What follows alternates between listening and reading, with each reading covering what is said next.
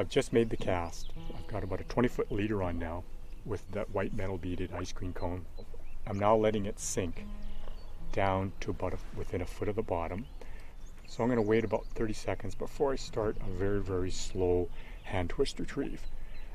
And while I'm doing that hand twist retrieve, every once in a while, maybe every 20 or 30 seconds, I'm going to do a couple of those quick pulls just to make that fly move slightly erratically.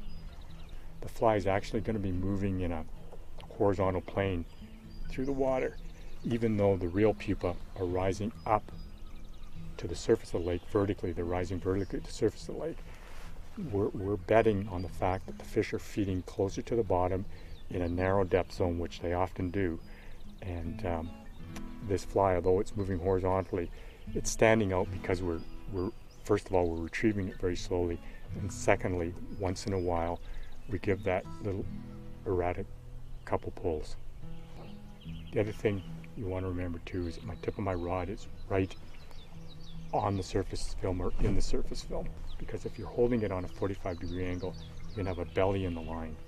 And that belly acts like a shock absorber. When you get a strike, the, the, the uh, force of the strike is going to be picked up in that slack and you're not going to feel it. So you want to keep that rod tip close. There's a fish.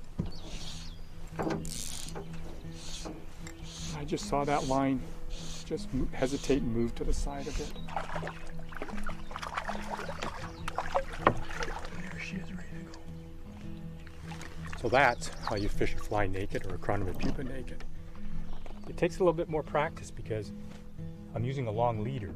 You know, I've got a 20 foot leader on here, so you've got to slow down your cast, you've got to widen the arc.